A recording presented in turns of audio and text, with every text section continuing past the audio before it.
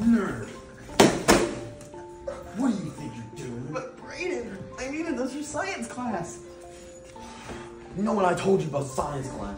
You gotta have my homework ready by tomorrow, or else I'll throw you off, nerdy Nelson. But, but Brayden, I, I can't do that. It's cheating.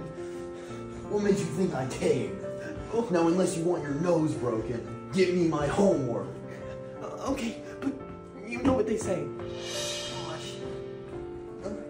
Gosh. Hey there, son. You okay? Yeah, Mr. Sanders. Brayden dropped my binders. Oh, I'm sorry about that. You know how bullies like him can be. But I don't understand. What did I ever do to him? You know, some people that bully are often just insecure of something of themselves. You got it, son. I'll see you in fourth period. Thank you, Mr. Sanders. Yeah? My mom? What about her? Cancer? Are, you sure? You, you checked everything, right? This can't be happening. No. No. Brayden, is everything okay? Everything's fine, nerdy Nelson. Brayden, I ju- I just wanted to help. I don't even ask for your help. You know what? Taking that. No, my binders. And your glasses. No, Oh. I need that to see. Oh. No, no, my glasses. They're broken. Oh no. What am I gonna do?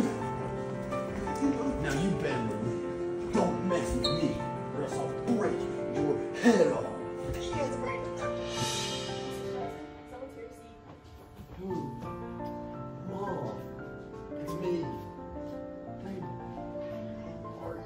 You gonna stay okay?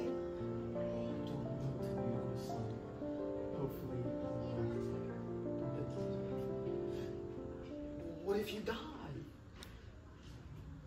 don't know. Actually, I have good news. Your history has been paid. By who? Hi, Brayden. I saw you crying earlier, so I had to investigate. I want to help you with your mom. Nerdy Nelson. Why? Well, just because you were mean to me doesn't mean that I should be mean to you. You see, it was when I learned that that man paid forward my mama's debt that I learned you have to pay it forward and treat others how you want to be treated. Oh, Nelson. I'm sorry you went through that. Thank you, Brayden. I understand your problem now. You know, you're not that bad of a guy. In fact, I don't think you're nerdy at all. You're pretty cool. Thank you, Brayden. That means so much coming from you. Hey, Mhar Dann fam. I hope you love that message on why you should always be kind and pay it forward.